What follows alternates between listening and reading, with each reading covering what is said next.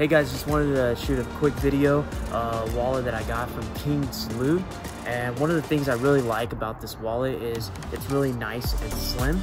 So I'm able to fit like 10 to 12 cards. As you guys can see, you know, got my driver license, three, four other cards beneath that. And I got two credit cards here, another additional two credit cards here. So it's really slim and the material of this is absolutely amazing. And compared to a wallet that I had previously before, it was this thick. So as you guys can see, the difference of it is major.